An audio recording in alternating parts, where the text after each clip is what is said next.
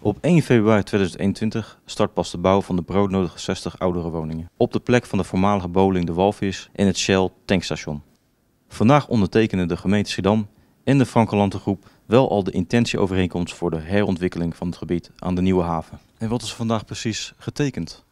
Uh, in, in, feite wat we al een tijdje aan het doen zijn, de intentie dat we het gaan doen. En, maar ook een aantal randvoorwaarden afgesproken. Dus uh, daar staat eigenlijk in dat de gemeente bereid is zijn medewerking te verlenen aan een, uh, aan een bestemmingsplanwijziging. Dat we globale overeenstemming hebben over de bouwmassa, over de hoogte. Hè, aan de Nieuwe Haven, een begane grond en vijf lagen. daarnaast begane grond en vier lagen tussenstuk. Uh, hoe je het met parkeren doet, uh, wat het plangebied is, uh, welke bijdrage je aan de gemeente betaalt voor hun inspanningen daarbij. Dus een aantal randvoorwaarden, eigenlijk een bevestiging van wat je met z'n allen al wist van we gaan het gewoon samen doen. Alleen al bij de Frankeland groep wachten gemiddeld 170 tot 200 kwetsbare ouderen op een plek in het verpleeghuis. Minimaal 800 ouderen wachten daarnaast op één oudere woning. Waarom duurt het dan toch zo lang voordat er gebouwd kan gaan worden? Ja, bouwen gaat niet van de een op de andere dag, maar ik ben wel blij dat het ons enige probleem is. Uh, bedoel, er zijn zat mensen die, uh, of zat instellingen die andere problemen hebben. Bijvoorbeeld voldoende en gekwalificeerd personeel krijgen. Ons probleem is, er is zoveel animo, we hebben te weinig plek. En, uh, en daar gaan we nu gewoon aan werken. Dus de wachtlijsten blijven nog voorlopig nog wel even groeien? Ja, ik vrees dat dat ook met de nieuwbouw die we nu gaan realiseren niet veel minder zal worden. Want tegelijkertijd stijgt het aantal 80-plussers. En ja, onze doelgroep zit binnen de 80-plussers. Dus als die met 40% groter wordt in de komende 10 jaar kun je er ook donder op zeggen dat de wachtlijst met 40% gaat groeien. Leidt dat dan ook tot schrijnende situaties? Ja, ik denk dat die schrijnende situaties in Nederland er, eh, er nu al zijn. Ik bedoel, uh, er is overheidsbeleid zegt mensen moeten zo lang mogelijk thuis wonen. Ja, alsof je dat met regels om moet leggen. Dat wil natuurlijk iedereen, dat wil jij, dat wil ik, dat wil iedereen. Ik ken niemand die voor zijn lol naar het verpleeghuis ging. Niet nu en ook niet in het verleden.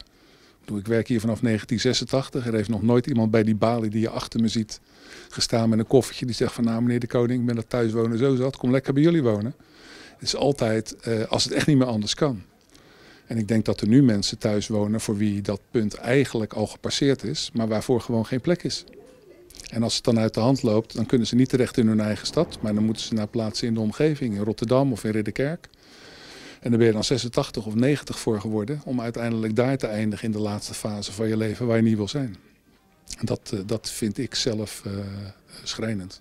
En zijn die 60 woningen die gebouwd worden dan niet genoeg? Nee, maar uh, het is in ieder geval een stap. gemiddelde verblijfsduur van een klant in een, in een verpleeghuis ligt onder de twee jaar. Dus als je ervan uitgaat dat zoiets 50 jaar meegaat, dan kun je ook nagaan hoeveel mensen je ermee kunt gaan helpen. Maar er zal op meer plaatsen in de stad nog wat moeten gebeuren. Maar je moet gewoon ergens beginnen. wij zagen deze kans en kansen moet je pakken. Gaat hoop werk kosten. is niet ons eigenlijke werk natuurlijk om te bouwen. Dat doen normaal gesproken andere partijen. Maar we doen het wel met grootst mogelijke plezier. Want het, het helpt om een probleem op te lossen. Is het een groot project voor jullie? Voor ons is het een, een heel groot project. Uh, zowel financieel als in, uh, in inzet. Kunt u dan een bedrag noemen? Nou, daar, durf ik nog niet aan. Maar uh, wij denken dat we zeker 10 miljoen van de investering niet terug gaan verdienen. Maar dat geeft niet. Uh, we hebben geen aandeelhouders. Uh, we hebben het geld. We kunnen er wat goeds mee doen voor de, voor de stad. En, en dat gaan we dus ook gewoon doen. Wij gaan aan de Nieuwe Haven, op de plek waar nu Kalfsbeek gevestigd is met het benzinestation. Gaan wij een nieuwbouwproject project realiseren met vooral oudere woningen, 60 tot 65 oudere woningen. En daarnaast diverse faciliteiten nog voor de Franklandgroep. Dus die ook nodig zijn om zorg te verlenen in de woningen die we daar gaan eh, realiseren. En daarnaast gaan we ook extra behandelruimte realiseren voor onze behandelaars. En wat is daar allemaal voor nodig? Oh, een hele hoop. Uh, we zijn nu met elkaar bezig om eerst te kijken van wat we daar aan de beeldkwaliteit willen realiseren. Dus eigenlijk hoe het eruit komt te zien. Dus daar zijn we heel druk mee bezig. We zijn ook intern nu aan het kijken van nou, als we daar dus woningen gaan realiseren waar we zorg willen gaan verlenen. Wat hebben wij dan nodig aan allerlei uh, faciliteiten? Dus uh, denk aan allerlei dienstruimtes voor de zorg. Daar zijn we aan het onderzoeken. er is een bestemmingsplanwijziging nodig, wat we nu ook in gang aan het zetten zijn, aan het voorbereiden. Dus uh, nog een hoop werk te doen. Uh, maar de bedoeling is wel dat we dan in februari 2021 kunnen gaan starten met in ieder geval de sloop van wat er is. En dan hopen we aansluitend te bouwen. Hebben jullie dan ook een weerstand gehad van de dingen die gesloopt moeten worden? Zoals De Shell? We hebben nog wel een traject in te gaan. En met name ook naar omwonenden en de buurt toe. Dus een stukje informatievoorziening zullen wij nog wel oppakken samen met Frankland. En met name Frankland gaat daar wel het voortouw in nemen. Dus vooralsnog van ja, weerstand is nog geen, geen sprake.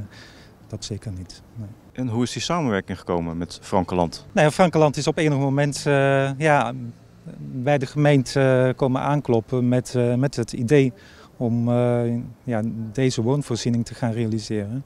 En daar zijn we op zich heel erg blij mee, omdat het ook mooi past in de woonvisie.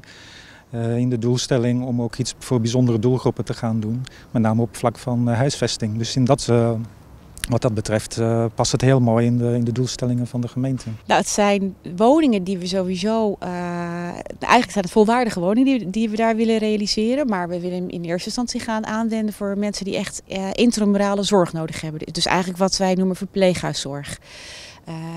dus het zijn mensen met een behoefte aan, ja, aan dagelijkse zorg, somatische zorg met, met behandeling. En zijn dat dan koop- of huurwoningen? Het zijn huurwoningen. Maar we gaan ze in eerste instantie dus wat wij noemen voor intermodale zorg verlenen. Dat betekent dat wij een totaalpakket uh, aanbieden aan de klant die daar komt wonen. Van zowel zorg als, uh, als wonen. En, uh, en alles wat erbij nodig is. Dus eigenlijk het gewoon hele verblijven. Wat kunt u vertellen over de procedure die u heeft moeten doorlopen?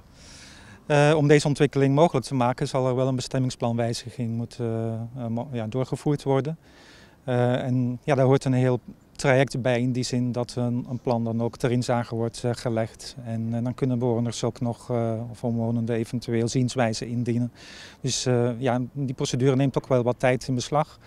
je praat al heel snel over een half jaar in totaal. dus dat maakt ook wel in de planning dat, daar, ja, dat het mooi past in, in de totaalplanning die ook Frankeland voor ogen heeft om in, vanaf 2021 te gaan starten met, met de bouw. Maar vooralsnog moet er wel nog eerst een heel traject doorlopen worden op dat vlak van procedures en dergelijke. Hoe ziet u de toekomst van de ouderenzorg in Schiedam? Als we met z'n allen deze dingen blijven doen die we de afgelopen jaren aan het doen zijn. Dus dat is dat gemeente, zorgverzekeraar, zorgkantoor, aanbieders elkaar beter weten te vinden op het feit dat er een probleem is wat ieders probleem is, wat opgelost moet worden ja, als iedereen onderkent dat het een probleem is waarvoor we gezamenlijk verantwoordelijk zijn, dan is dat het begin van de oplossing. Dus ik ben niet echt uh, negatief over de, over de toekomst. Ik zie die wel met vertrouwen tegemoet. Maar het is, uh, het is hard werken, maar ook leuk werken.